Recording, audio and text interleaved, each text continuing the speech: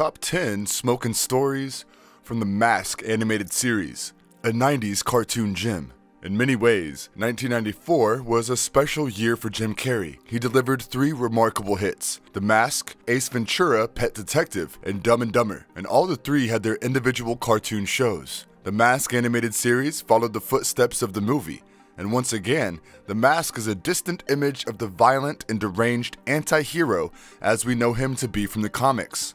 The movie was largely responsible for setting up a definite image for the character, and the animated series simply followed along the same lines.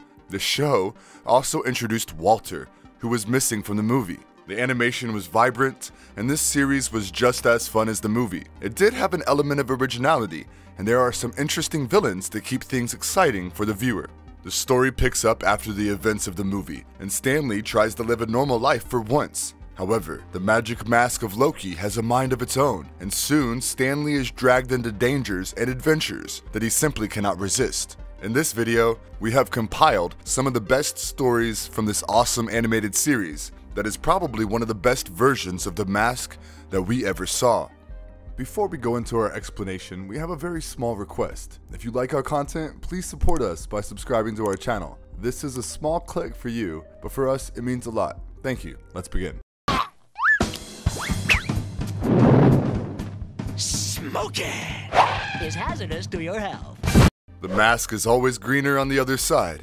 Season 1, Episode 1 and 2. The series opener starts off with Stanley stuck in his apartment. He is dejected about his luck with women so far, and to make matters worse, his landlady barges through the door and gives him an earful for thinking out loud. Stanley is left fuming at his fate, and he is tempted to use the mask to teach the landlady a lesson. However, he manages to control himself because the mask should be used for the right cause. Suddenly, the alarm from the bank gives Stanley the perfect opportunity to try out the mask. He storms off to deal with the robbery, and it takes him no time to deal with the one stationed outside the bank. He has a thing for the security guard of the bank, Matilda, and he hopes that this would be a great opportunity to impress her with some bravado. Unfortunately, she has already reined in the rest of the robbers. In fact, watching him in his green face scares her away. He tries to pursue her, and the robbers escape, using this opportunity. Matilda! Wherefore art thou, Matilda? The next morning, Peggy informs him that he has finally made it to the front page of the newspaper for his antics. He is skeptical of her because she had sold him out to the mobsters the last time around. She pleads with him to give her the news stories about the mask, but Stanley is in no mind to trust her just yet. Meanwhile, a mysterious man reads about the incident in the newspaper. This is none other than Pretorius, the maniacal scientist, and he wants his henchmen to discover the real identity of the mask. Back at the bank, Matilda has decided to quit following her horrible experience with the mask, and many suspect Stanley to be the man behind the mask because he was the only one not there. Pretorius gets wind that Stanley is being suspected, and he sends in the giant Walter to bring in Stanley. Back at his apartment, there was an incident with a baby wearing his mask, and Stanley is finally fed up and decides to get rid of it. It's been real. No, it's been surreal. When he is brought in by Walter, Pretorius remarks that he wants the mask to create one just like it. When Stanley refuses, he even gets his pet dog Milo to force him to concede. Peggy comes to his rescue, but without the mask, they are still powerless. Just as Walter is about to get him, Stanley finds and puts on the mask to transform his alter ego. I feel good. Hit me. However, even the powers of the mask are no match for the brutish strength of Walter.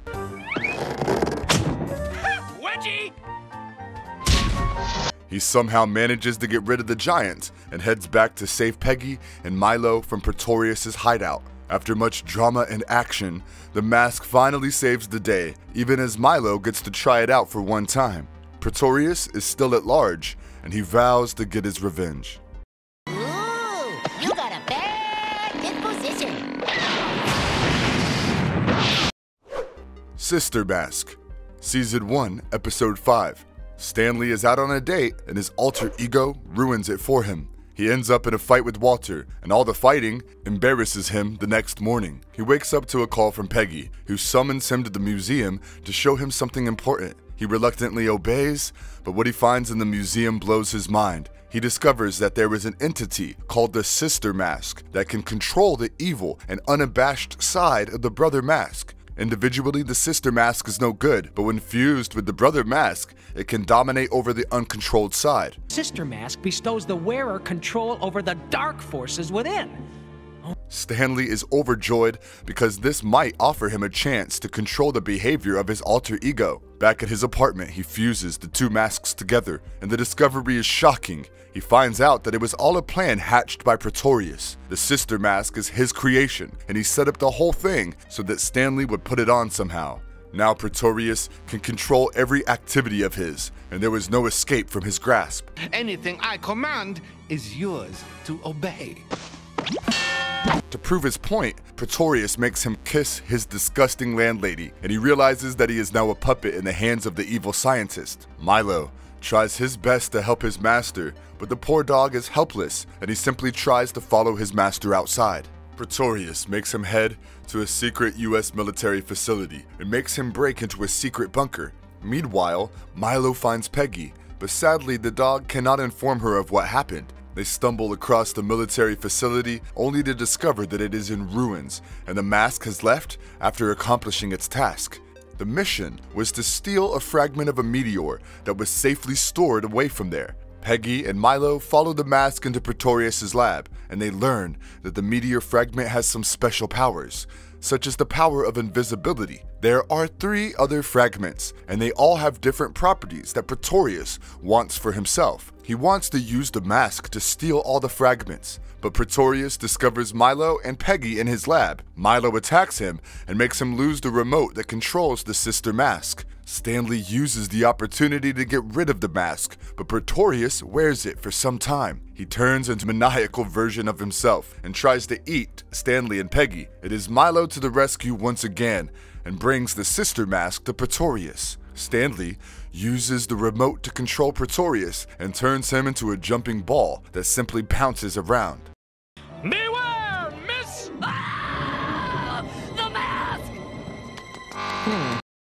Shadow of a Skillit, Season 1, Episode 6. Something strange has disturbed life in Edge City. Some peculiar entity is stealing the shadows of people, and after their shadows are stolen, the people are losing their youth and rapidly aging. Charlie's shadow has also been stolen, and he is worried about his rapidly thinning hairline. Finally, the Shadow Snatcher attacks Stanley, and his shadow is taken away before he can know it. Stanley feels cold and barely manages to get to his apartment. It is time to bring the mask into play, and Stanley embraces his alter ego. The mask is out looking for the Shadow Stealer, but the Shadow Snatcher continues to be on the prowl. He is a shadowy entity himself, called Skillit, and he has been around for over 4,000 years. He steals the youth of people along with their shadow, and it helps him stay young eternally. Skillit takes the mask away to his hideout, and Stanley is surprised to learn that he knows the mask from a long time back. He even gives back Stanley's shadow and wants to hang out with him, much to the disgust of Stanley. Skillit is not impressed with the behavior, and now he wants to find out the man behind the mask. Let's find out who's under that green skin. He follows Stanley back to his apartment, and he reveals that Stanley is very different from the others who had possessed the mask in the past. Most of the mask's previous owners were criminals and thugs, and in Skillit's words, Stanley is too cute to be wearing it. He wants to take the mask to his shadow land because his long life of over 4,000 years has become boring and he wants to have some fun. Skillit even steals Peggy's shadow as Stanley watches helplessly, and even Milo's shadow has been stolen. He goes to check on Charlie, and he has turned into an old man who can barely move around. Stanley realizes that he would have to don the mask and do something quickly before every citizen with stolen shadows withers away. He storms off to deal with Skillit, and they engage in a hilarious duel. Skillit tries to manipulate the mask and tempts him to accompany him to the Shadowland. The mask agrees, but the deal is that Skillit would have to hand back the shadows to the likes of Charlie, Peggy, and Milo. Once Skillit obliges, the mask takes his shadow, and before he can return to his shadow land, Milo bites him away from the portal. He doesn't have his powers any longer, and the mask gives him a classic wedgie. It is tit for tat, and order is restored in the city.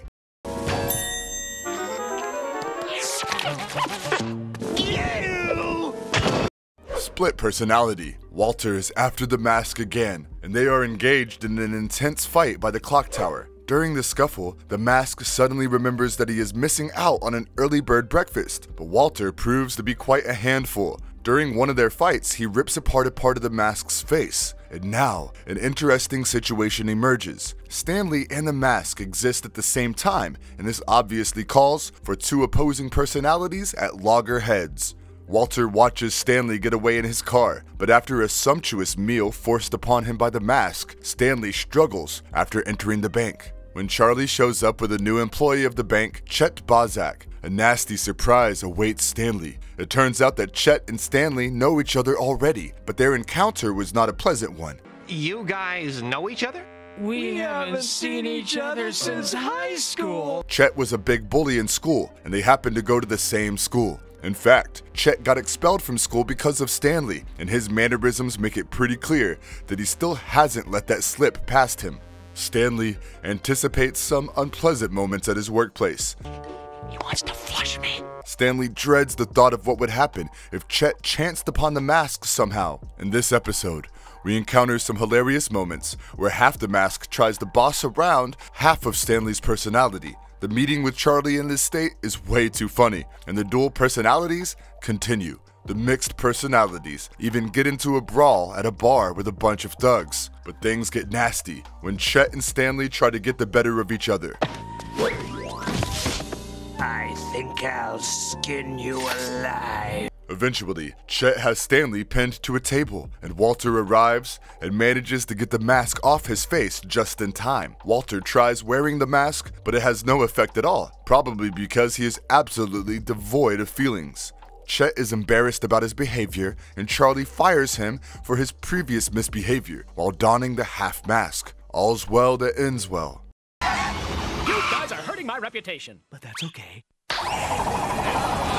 A Comedy of Eras, Season 2, Episode 1. The episode begins with the mask engaged in a fight with crazy scientist Dr. Kronos, who has stolen some plutonium for her experiments. The fight doesn't end well because she has mastered the technology to control time. The mask is slowed down, paused, and finally sent ahead and backwards in time. Milo tries to help his master, but the poor dog is sent through time just like the mask. She has stolen the plutonium to power her time machine, and she disappears through one of the portals. Stanley takes off his mask, but his troubles are far from over. As he walks with Milo through a deserted place, he stumbles across a few guards dressed in strange clothes. They arrest him for not having papers for his dog, and they drag him away to be tried in court.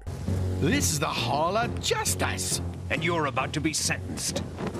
He is shocked to see Charlie as a judge, but by now it is clear that they are in another time, somewhere in the future. Milo manages to get away with the mask, and Stanley is sentenced to life in prison without parole. Milo drops the mask for Stanley just in time, and he breaks free from the guards.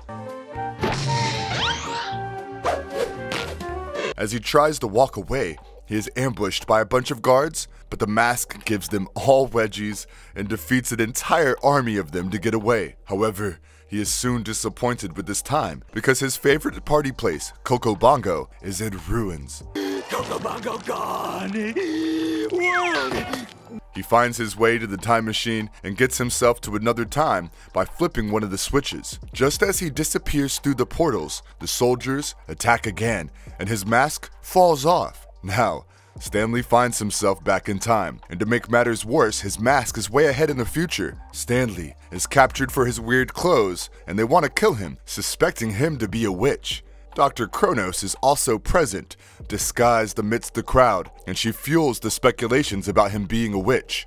Poor Milo runs away from the crowd, and while roaming around in the forest, he stumbles upon the mask. He wears the mask, and now Milo is transformed into a vicious green beastly dog. He scares away the people preparing to execute Stanley and hands him over the mask, and then he transforms. He then uses Dr. Kronos' time machine to transform her into an old woman and then a kid. The people suspect her to be a witch now, and Stanley gets back to their own time with Milo. The intelligent dog certainly saved the day this time around. Somebody stop me! No? Mauled, Season 2, Episode 5. Stanley is forced by the mask to steal tons of donuts and pastries, and when the landlady comes probing, Stanley is left to handle the situation. Meanwhile, Edge City is gearing up for the opening of the new Mega Mall. Stanley watches the opening ceremony on television, and Charlie calls him up to head to the mall for the bank's opening there. Charlie is too busy waxing his back, and Stanley reluctantly goes for the job. All of a sudden, the mall is invaded by a notorious biker gang. They cause panic and chaos, but Stanley is too busy trying to open the vault of the mall. The gang robs everyone, and when Stanley realizes what is going on, he tries to stall them till the police come. But their boss, Lonnie the Shark, is way too smart for such tricks, and he arrives to make the men hurry. One of the security personnel of the mall manages to switch on the alarm button, and the entire mall is sealed shut with steel barriers. The leader of the gang remarks that everyone inside would be their hostages until their demands are met.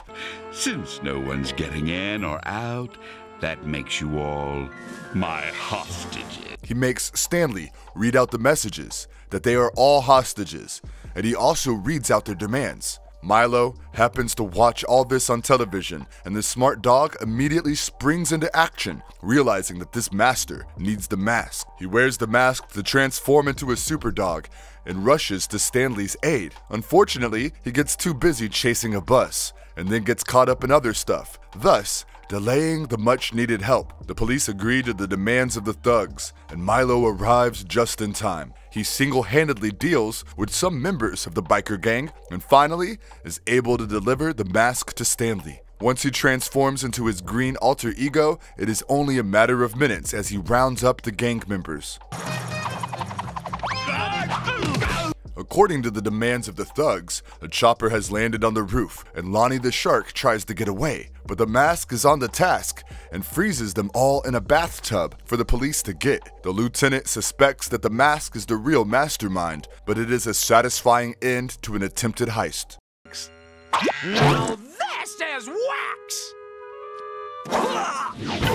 To Be or Not to Be, Season 2, Episode 19.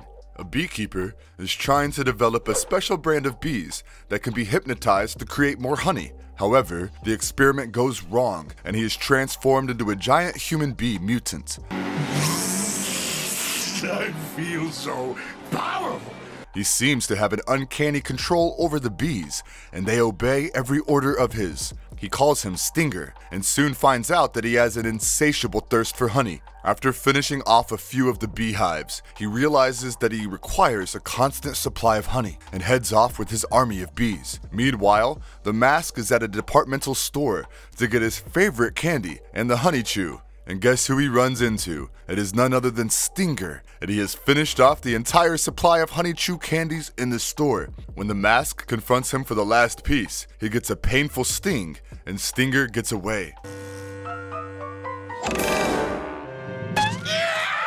He then heads to the factory that makes these candies and devours every drop of honey and candy available there. The mask follows him to the factory, but once again, the maniac mutant overpowers him, and he also discovers that he must constantly be on the lookout for more food sources because nothing is enough for him. Things get worse, and Stanley soon realizes that citizens are hypnotized. Everyone seems to be in a trance, and they all roam around like zombies, repeating the word honey. Even the cops are not spared, and the entire town seems to be filled with all these hypnotized people. When Stanley is chased by a bunch of these hypnotizing bees, he quickly gets to his apartment and dons the mask. Stinger is actually making all these people work for him to create a giant beehive. When the mask arrives at his secret hive, Stinger drops him into one of the giant drums of honey. The mask sinks into the honey, but quickly drinks it all to get away. After a long, drawn duel with the Stinger, he finally manages to capture all the hypnotizing bees. As for Stinger, he manages to get him back to his human state, and immediately, all the hypnotized humans are also normalized immediately. It would have been a happy ending if not for the toothache that bothered the mask because of all of his candy eating. Did you miss me, big guy? The Angels Want to Wear My Green Mask, Season 2, Episode 26. Lieutenant Kellaway, who is not too fond of the mask, is captured by a gang of thugs. The mask arrives to his rescue, but he soon finds out that there is a bomb planted in that place, set to go off in a minute. As the two are bickering, there is a massive explosion, and they both seem to have arrived in a world beyond the living. It is the afterlife, and they both seem to have died from the blast. They are both about to be walked into heaven by an angel, but the lieutenant protests and he demands a hearing for the admission of the mask into heaven.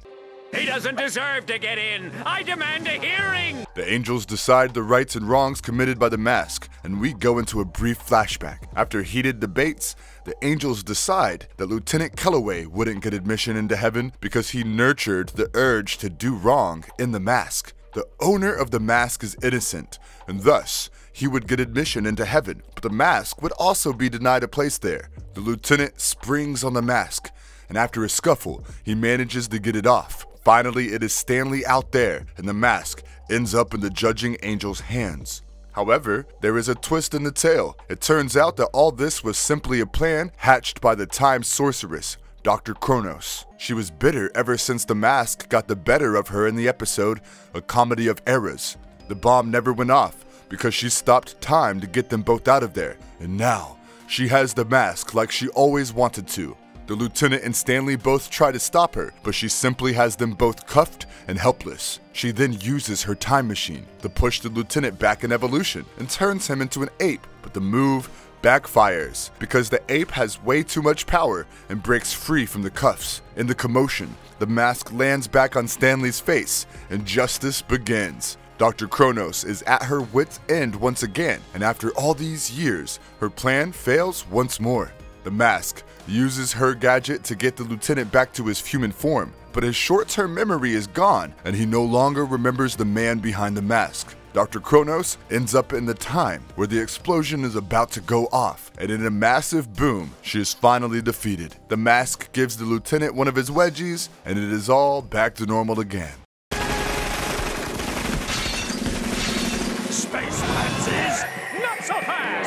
Magic, Season 3, Episode 1. The Mask is fascinated with magic, and he is all the more excited for the upcoming magic show in Coco Bongo. The lieutenant and his accomplice are keeping an eye out for him, but he is quick to amuse them with some magic tricks himself. Meanwhile, Stanley is pretty excited about the magic show as well, because the performer, Davida Steelmine, is one of his old classmates. He had the biggest crush on her, and he never had the heart to go up to her and reveal his feelings. However, his dreams are squashed by his bank manager Charlie, and he hands over large volumes of audit work for Stanley to complete. Instead, Charlie decides to go to the show himself and woo the elegant Davida Steelmine. Back in her school days, she went by the name Vicky Pratt, and what Stanley has no clue about is that she too had a huge crush on him back in the day. Would, would you believe I could never work up the nerve to speak to you back in high school? While Stanley works grumpily at the bank, he is shocked to see some alien robbers. Without the mask, he can do little to stop them, and he rushes home to get his hands on it. But the lieutenant watches him hurrying into the apartment, and it gets worse for Stanley when it is later discovered that the bank has been robbed under his watch. The police believe that he might have had a hand in the robbery because he has no proof to support his ridiculous story about alien robbers and is without a CCTV footage to prove the same. In fact, it shows Stanley opening the vault himself. Charlie is disappointed with him and assigns him a temporary leave to deal with his mental health. The mask tries to get to the bottom of this mysterious robbery, and Stanley meets his childhood crush at the museum. She tells him about her feelings, but it doesn't take long for him to figure out that she is the one behind the crimes. She uses her tricks of illusion to fool everyone, and her next plan is to rob the museum. The mask, who also has developed the hots for her, interrupts her charade, but her magic is simply too strong for him to handle. Finally, she is apprehended before fleeing and handed over to the police. But the episode ends with a massive twist, where we learn that the one under arrest is simply an illusion, and the real Davida Steelmine, aka Vicky Pratt, is still on the loose. I got your minimum daily requirement right here, soldier.